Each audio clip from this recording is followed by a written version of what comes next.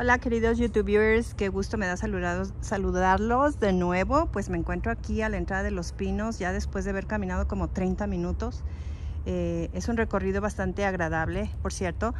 Pues pasamos el filtro de seguridad que hay a la entrada y aquí ya vamos este, rumbo al Centro Cultural Los Pinos, que en el pasado era la residencia de los presidentes o de los expresidentes y que ahora el presidente, el licenciado Andrés Manuel López Obrador, lo hizo un centro cultural para todos los mexicanos poder venir, conocer, porque antes sabíamos que esto estaba resguardado y pues nadie se podía acercar para estos rumbos.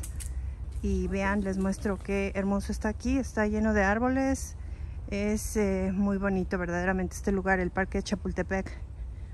Esta es otra zona, otra parte del parque. Y pero es mucho caminar porque son 11.8 hectáreas. Claro que nosotros no caminamos tanto, pero sí es un recorrido bastante largo. Así que vamos a ver si todavía hay acceso y si podemos mostrarles por dentro cómo está este centro cultural. Que realmente es eh, interesante y emocionante porque es parte de nuestra historia. Y como les digo, en, la, en el pasado pues nosotros no teníamos acceso. Los mexicanos no podíamos accesar a los pinos.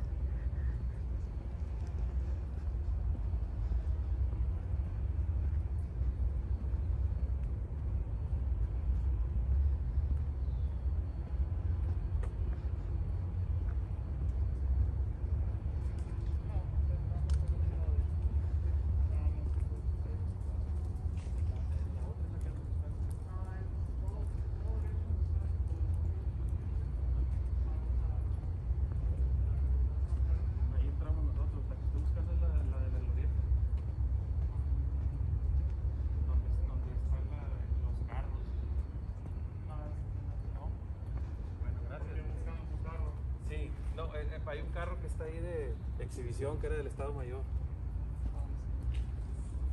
Pero está, pues, está en el acceso de la glorieta ahí arriba, no sé si es por acá. Aquí vemos la, el horario, es de martes a domingo de 11 a 17 horas, que son las 5 de la tarde.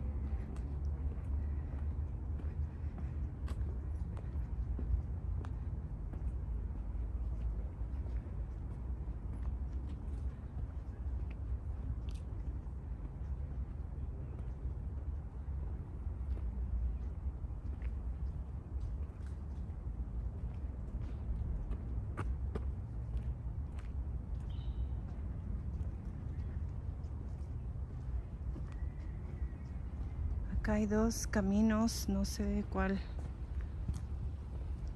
conduce a dónde, pero bueno, vamos a ver.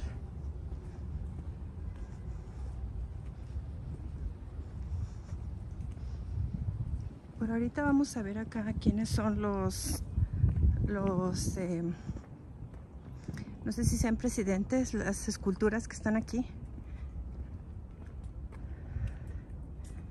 Sí, aquí tenemos la estatua del presidente Lázaro Cárdenas del Río.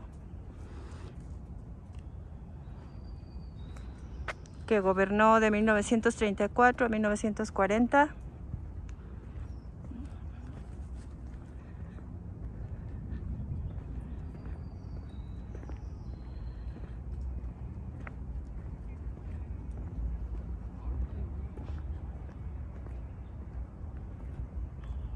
Está el general Ávila Camacho, Manuel Ávila Camacho, que gobernó de 1940 al 46.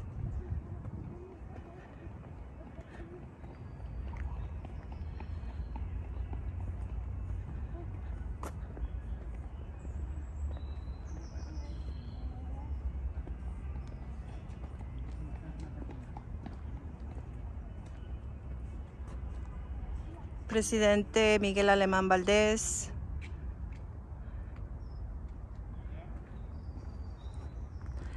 que de todos estos me atrevo a decir que el más honesto y el presidente más patriota pues fue eh, el general Lázaro Cárdenas porque tristemente muchos de ellos se dedicaron a saquear a México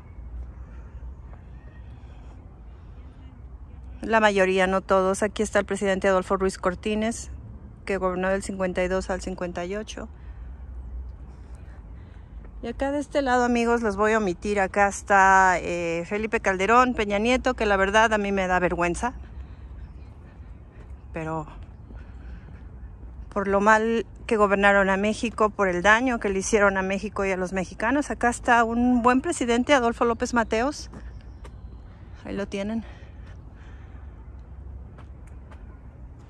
Él gobernó de 1958 al 64. Y sí, vamos, vamos bien porque ahí arriba está, ya veo la casa de los pinos.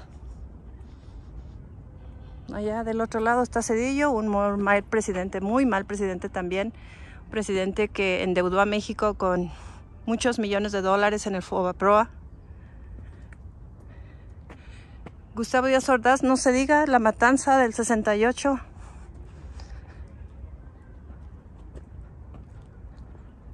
Y bueno, pues acá ya está López Portillo, Echeverría. Y el más ratero de todos allá se encuentra Salinas de Gortari. Yo realmente no sé por qué les hicieron monumentos. No creo verdaderamente que se lo merezcan, pero bueno, fueron presidentes de México. Eso, eso es parte de la historia, la triste historia de México, del saqueo y la corrupción.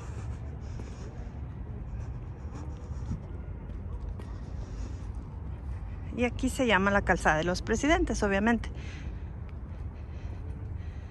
Pues ahí está, amigos, la entrada de lo que antes era la residencia de los presidentes, Los Pinos.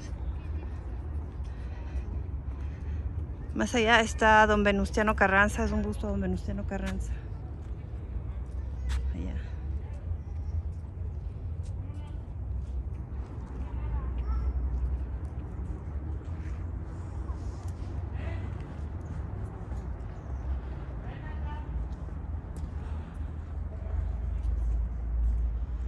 un lugar muy bonito también aquí.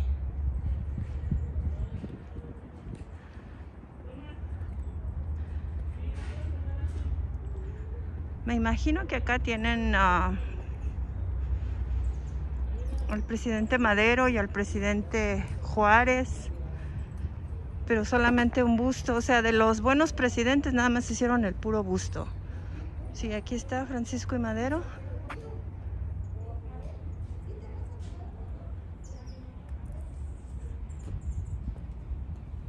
el apóstol de la democracia, que lo llama el presidente Obrador, el apóstol de la democracia, presidente Madero.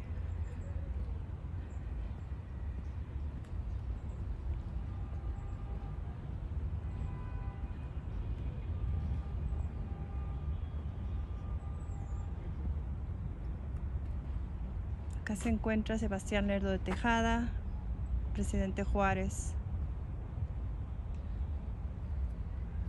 y acá Melchor Ocampo.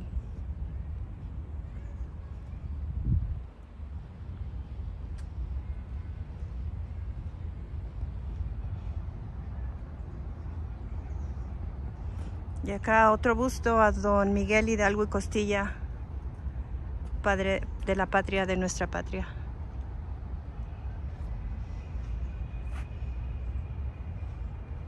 Bueno, ya hay anexos porque creo que la casa eh, acá de Los Pinos tenía bastantes anexos. Vemos que ya hay otra casa aparte y vemos que hay pues bustos de otros presidentes. Creo que ya está el busto de Colosio, voy a ver.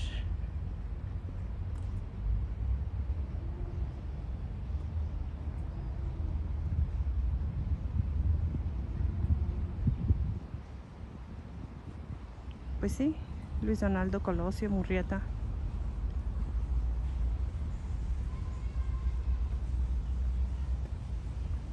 ¿Quién más tenemos acá?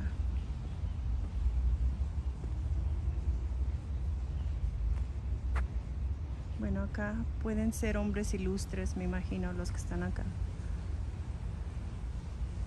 Vamos a hacer una toma de la finca que hay acá al final. Me llama la atención, no sé qué es, pero pues Ese es un anexo, ¿no? De la de acá de Los Pinos. Buenas tardes. Gracias. Vemos al miembro de la Guardia Nacional que están aquí trabajando pues para nuestra seguridad, aunque aquí sí está muy tranquilo, muy seguro. Aquí vienen bastantes familias,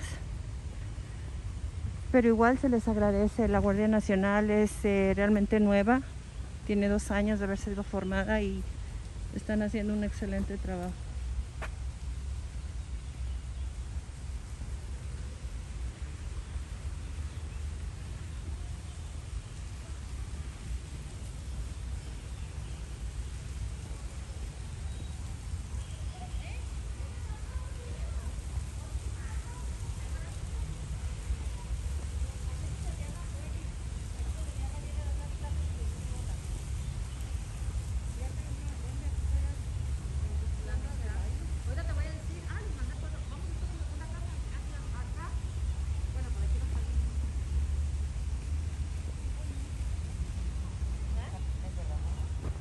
Acá es una exposición permanente del general Lázaro Cárdenas y aquí es donde él residía, donde él vivió.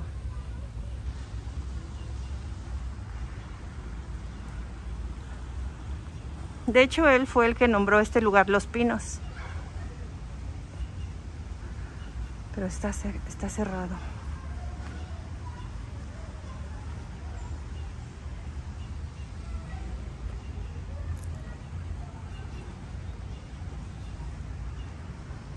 A lo mejor la entrada está por el otro lado.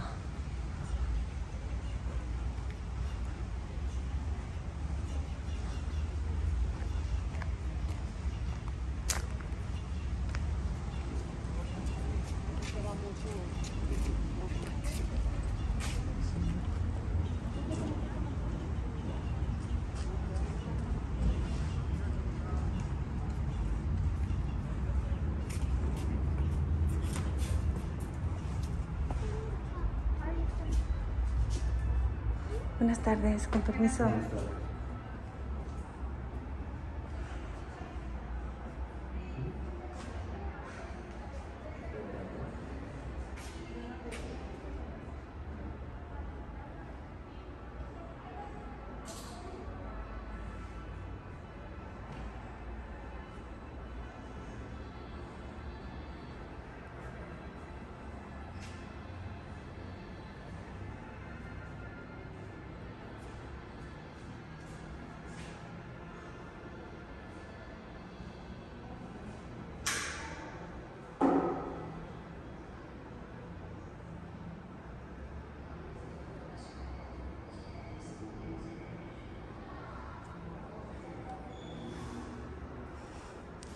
Aquí dice amigos que esta es la casa presidencial del general Lázaro Cárdenas, el 30 de noviembre del 34 de 1934.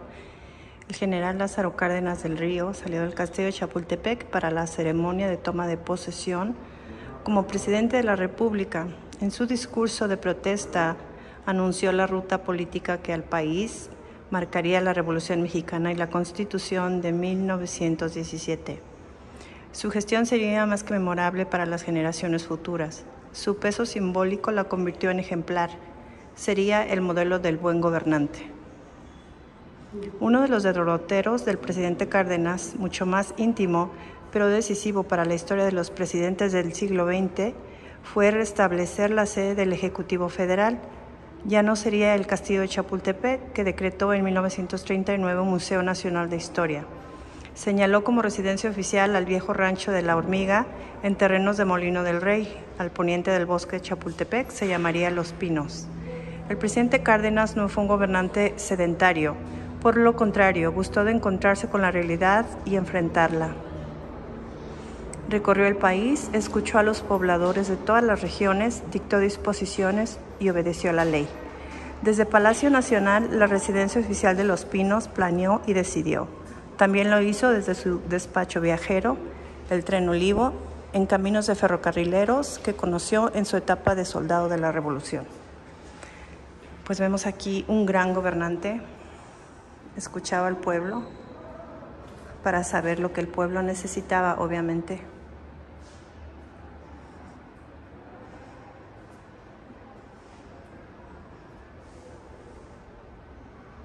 Solo los grandes hombres cambian la historia.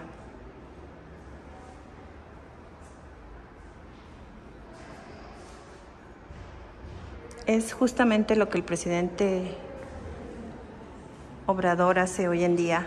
Viaja a toda la República Mexicana y escucha todas las peticiones de los ciudadanos para así poder gobernar equitativamente.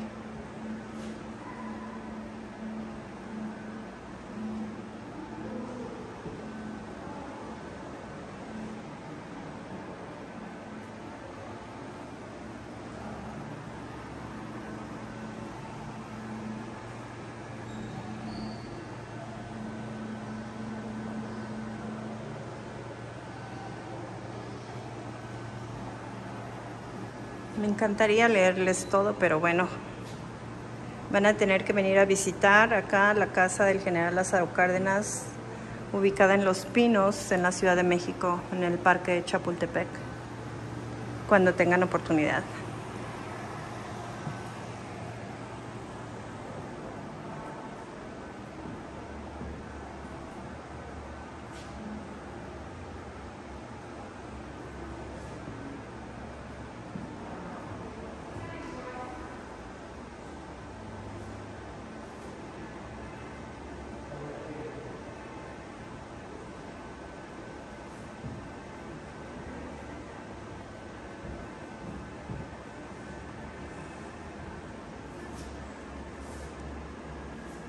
Miren lo que dijo Francisco y Madero, el poder absoluto corrompe a quienes lo ejercen y a quienes lo sufren.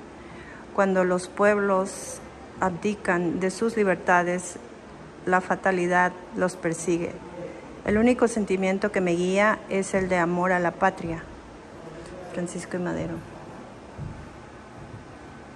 Acá está Venustiano Carranza.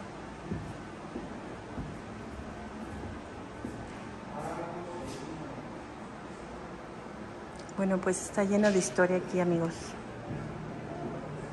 Un lugar lleno de historia.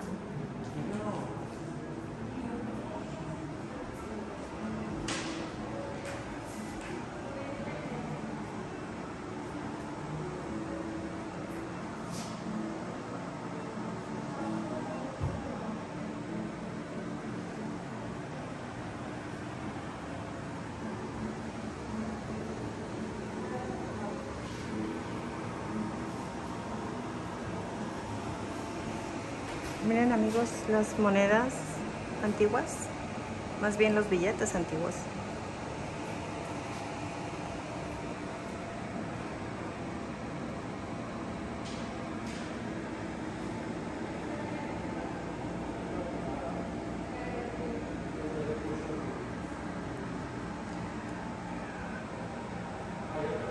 Wow, cuando el peso estaba súper devaluado, 10 mil pesos, había una, un billete de 10 mil pesos.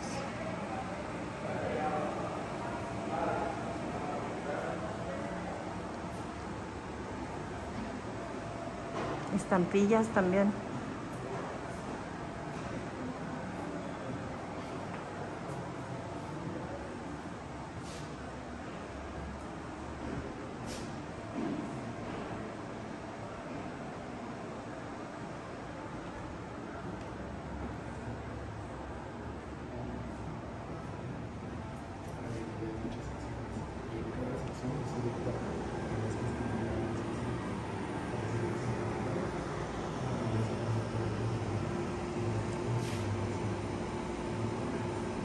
Aquí todas las regiones que recorrió el general Cárdenas.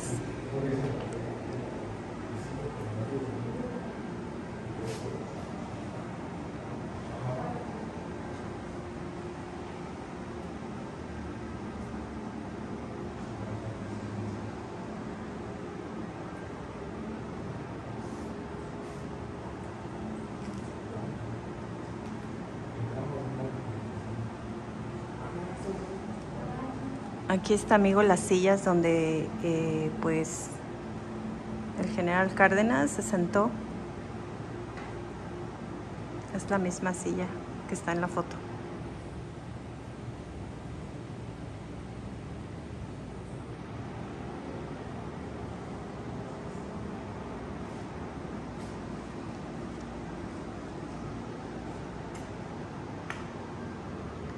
La banda presidencial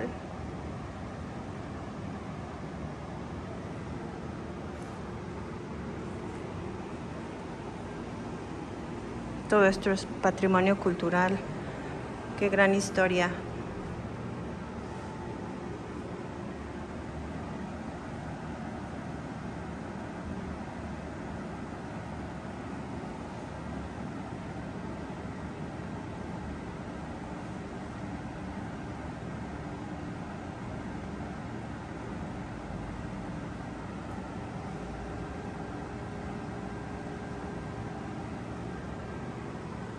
Los escritos con las firmas.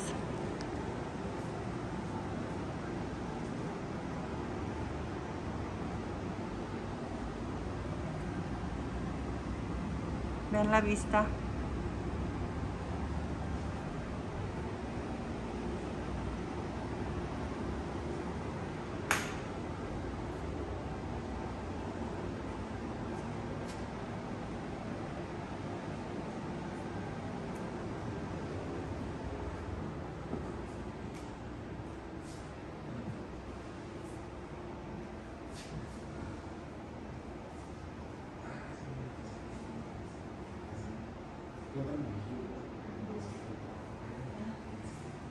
Vemos cómo el general Lázaro Cárdenas se inspiraba en los héroes de la historia, en los, eh, en los héroes que nos dieron patria, como María Morelos y Pavón.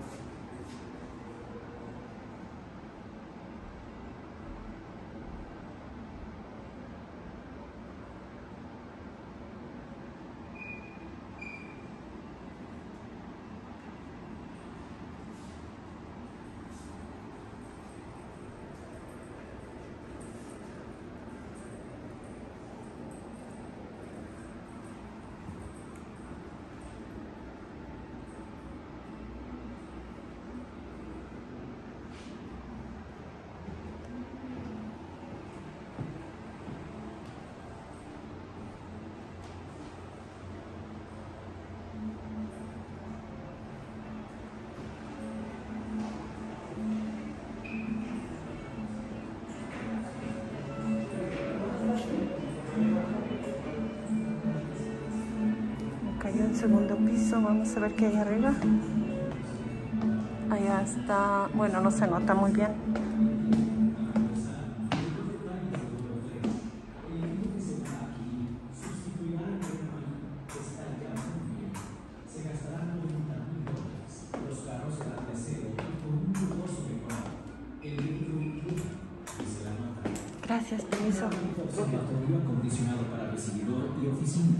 Un carro acondicionado para comedor y habitaciones, un carro tipo Pullman y uno más acondicionado para equipajes, caballos y transporte de dos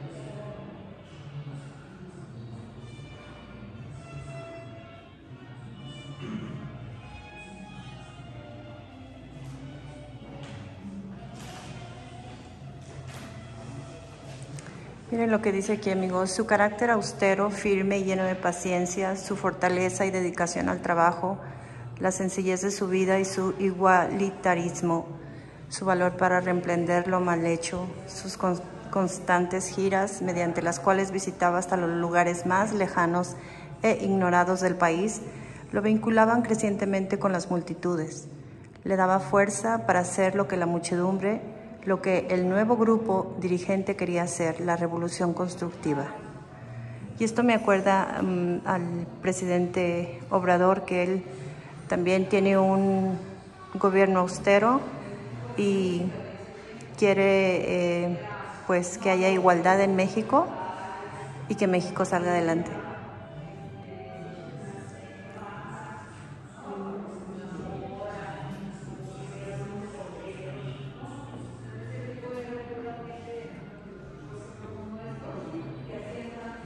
Son oficinas.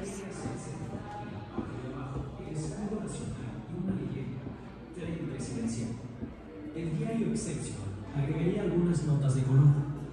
Destacaba, por ejemplo, sus adornos a modo de arte azteca, muy en boga, con diseños que harían marear a Moctezuma, diría años después el arqueólogo Ignacio Bernal. Salvador Nomo escribió en su crónica, desde que Juárez, más por la fuerza de la necesidad que por su gusto, vagó con el gobierno de México por todo su territorio, no se había dado el caso de que un presidente comenzara por desdeñar el muelle confort un profesor del castillo de Chapultepec, conservara la costumbre de madrugar e iniciara por y